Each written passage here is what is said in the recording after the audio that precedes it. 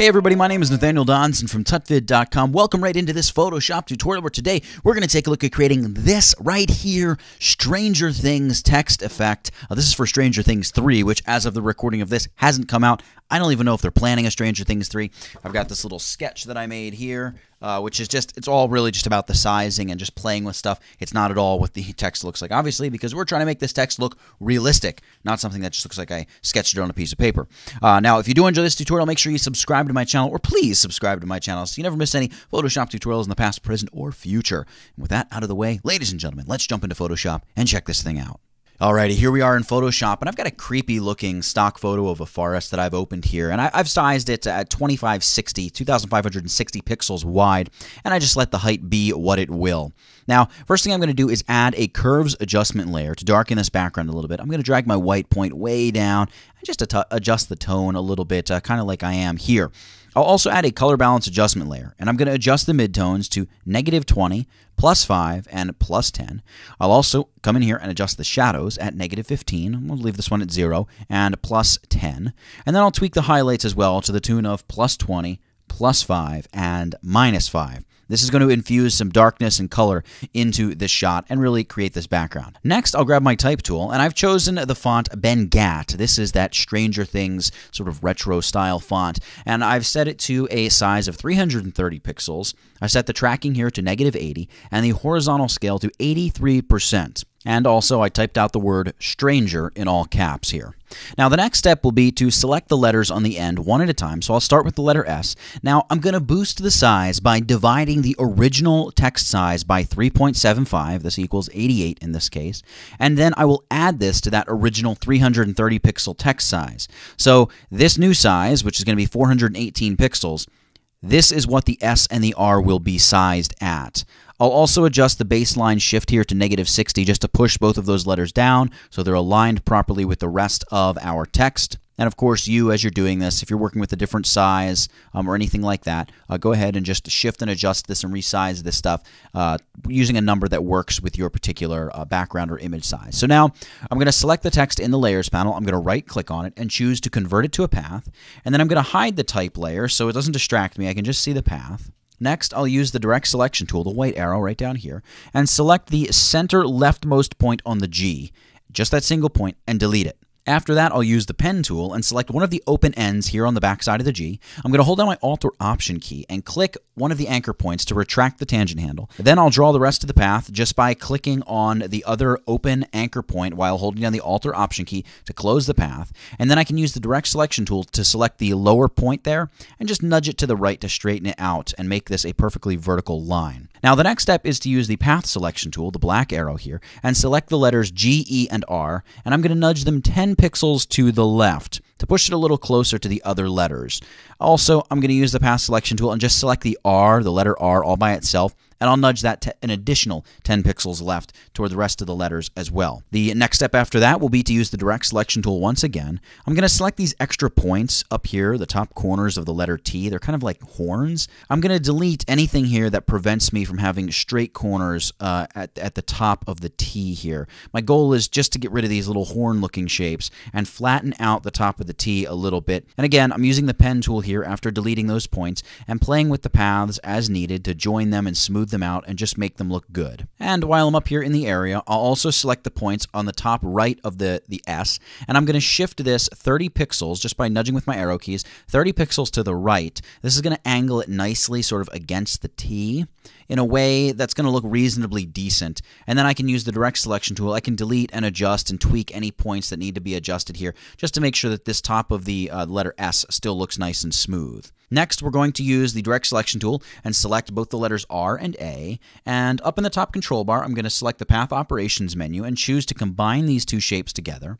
Then I'm going to select this combined RA letter and the letter N, and I'm also going to combine these shapes as well using the same path operations menu. In addition, I can just zoom in and make sure these the areas where these letters come together are nice and smooth and look good. Um, I, will use a combination of the direct selection tool and the pen tool just to make sure all the transitions of these letters come together perfectly. Now, the next step is to hit the hotkey Command or Control R to pop out your rulers and drag in a guide that is exactly at the top of the majority of the flat topped letters in the word string Then drag out another guide and place this one at the bottom of those letters, and then drag out a third guide that is exactly aligned with the bottom of the letter R, the larger R, that is. Now, here's a very important step.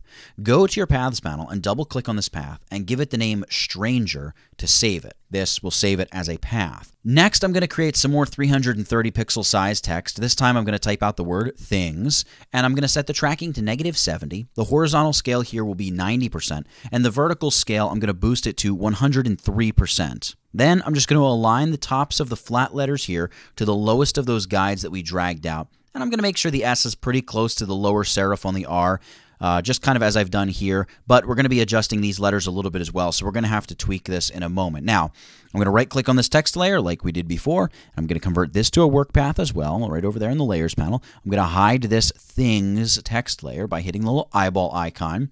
And I'll also apply that same G treatment to flatten the side of the G and then nudge it 10 pixels closer to the N, uh, the same one that we did with our larger bit of text. I'm also going to flatten the top of the T here just like we did before using the exact same techniques as before. And then I'm going to use my uh, path selection tool and I'm going to copy this entire path. So just select that, that entire path, hit Command or Control C to copy it. And then I'm going to select my stranger path layer in my paths panel and I'm going to paste it into there by hitting command or control V and then I can just nudge it and move it around just to make sure everything is aligned perfectly uh, if I need to. Now, once more, I'm going to use my rulers. This time I'm going to drag out vertical rulers uh, to the leftmost edge of the letter S, and then to the rightmost edge of the curved part of the R, that top part of the big R, and then also to just the very absolute leftmost edge of the R as well. So there's going to be two guides on the right side of our word, one guide over there on uh, the left side. Then I'll go view and make sure snapping is turned on by just hitting view snap. And then I'll grab my rectangle tool. I'm going to set it to draw a path and I'm going to draw or drag out a, a shape here that's 30 pixels high. And I want this to be just a nice long thin rectangle across above the text and I'm going to make sure it's a nudged about 60 pixels above the text. So I can bring it all the way down to the top of the text and just nudge it upward. And then I'll also drag out a smaller 30 pixel high rectangle below the letter S, and then duplicate that over and let it sit below the letter R, or you can just drag out a brand new 30 pixel high rectangle below the letter R as well, whatever works easier for you. And now that I have all of these paths all together like this, I'm going to select all these paths with the path selection tool, that's the black arrow, and I'm going to create a new fill layer in my layers panel So this essentially takes these paths and creates a vector shape layer that we can now edit. So we can use any color for the fill here. Uh, I'm going to hide my guides at this point by hitting Command or Control and use the semicolon key. And I'll also make my rulers go away by hitting Command or Control R. I'm going to select this shape layer and switch to my black arrow path selection tool. And I'm going to look to that top control bar. I'm going to select the fill and I'll cancel out the fill and then select the stroke and choose to give the stroke a custom color. In fact, I'm going to set the color to the hex code of E7201F and I'm going to make that stroke weight 9 pixels. Now I'm also going to click here to change the stroke settings and I want to make the stroke straddle the path and I'm also going to give it rounded corners. Next, we're going to duplicate this shape layer with the stroke twice. So hit Command or Control J twice. And I'm going to choose both of the lower versions we just made and reduce the fill opacity of both of them to 0%. Then I'm going to choose the top of these two lower layers and I'm going to go layer, layer style, outer glow.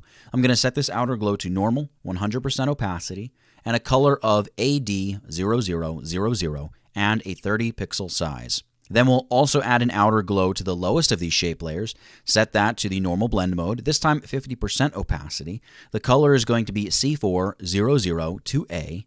This one's going to get a 10% spread and a 35 pixel size. Starting to look cool, but we're just getting these chestnuts toasted, so let's keep going. Select the topmost of these shape layers, you know, the only one without layer styles, and we're going to duplicate it another three times. So hit Command or Control J three times. I'm going to hide those top three layers for a quick second here and select that fourth layer from the top, the one that we just duplicated three times. And we're going to give this an inner glow by going Layer, Layer Style, Inner Glow. And I'm going to set this to the normal blend mode, 50% opacity. I'm going to use the color 800000 and give it a 4 pixel size. Next, I'm going to turn on the layer just above this, and I'm going to change the stroke to a 4 pixel stroke, and I'll change the color to FF8480, and then set this layer blend mode to color dodge. I'll also add an outer glow layer style here, and I'm going to set this to color dodge blend mode, 40% opacity, and I'm going to use the color FD1F1F, and let's say 15 pixels in size.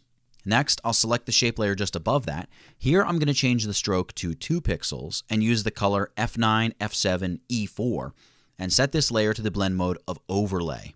And then finally, I'll select the layer above this, and this one gets a 1 pixel stroke with the same color F9, F7, E4.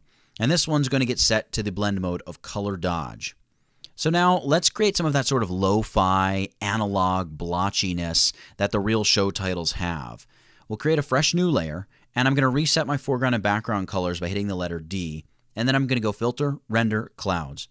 Then I'm going to hit Command or Control L to open up the levels adjustment for this layer, and I'm going to change the input level, the black point to 165, the midtone point will stay at 1.0, and the white input will be 175. This will give us these random white blotches, and all I need to do now is add a blur to this. So we'll go filter, blur, Gaussian blur, and we'll blur this uh, 25 pixels. I think that looks perfect. Next, go to your channels panel and command or control click on any channel to load this kind of crazy selection. Now go back and drag the white blotchy layer to the trash can icon to get rid of it. We're done with that. And then select the second from the top shape layer and go Layer, Layer Mask, Reveal Selection. Then I will Alt or Option drag this mask to copy it up to the topmost layer. Now, if need be, and it, if this makes it look like we've just gotten rid of all that shininess we had in our sort of neon glowy text, we can Alt or Option click either of these masks and open the levels adjustment again by hitting Command or Control L here within the mask and we can adjust how much or how little white there is, or even how soft or harsh the edges are to really mix this effect up a little bit. In fact, it can be a good idea to do this just to make both of the masks a little bit different than each other. And this can just be whatever looks good to you. So I'll just adjust and tweak mine a little bit, and then we'll move on. Now I'm going to create a layer above everything else and change my fill color here over in the bottom of my tool panel. I can double click, change my fill color to E7201F. And then I'm going to grab a large soft edged brush. And in my mini brush editor, I'm going to drag the top and bottom of my brush tip together just a little bit to give me this sort of flattened brush look. Then I'm going to set the brush opacity to 30%.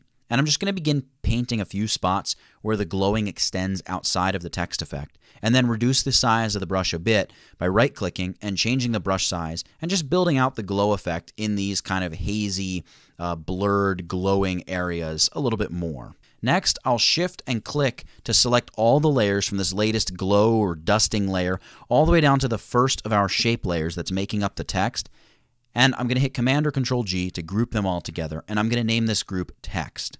Then I'm going to add a gradient map adjustment layer above all this and hit Command Option G, that would be Control Alt G on the PC, and this will clip the gradient map to this entire group. And I'm going to set the gradient map to a black to white gradient, and I'm going to drag the white color stop until I just see some good snap in the highlights in the text effect, probably to about the 60% mark or so. And next, I'll set this gradient map layer to the soft light blend mode. Then I'm going to add a selective color adjustment layer here and just darken things up. I'll add some blues, magentas, and a kiss of either red or cyan, depending on what the overall vibe seems to dictate to me. You can have a little bit of fun here, uh, just go a little crazy with some of the color uh, and, and, and really see what you come up with. Now, to really infuse a little more depth and add some pizzazz to this, I'm going to create another blank layer and I'm going to set it to the color dodge blend mode. Then I'm going to change my foreground color to FF C298 and I'm going to use some flare brushes here that I have, and I'm going to paint in some cool looking bits that will just make the text effect jump even more than usual. You can find free flare brushes all over the internet, so just look around, download some for yourself, and you can go in and, and do something that you like here on this step as well.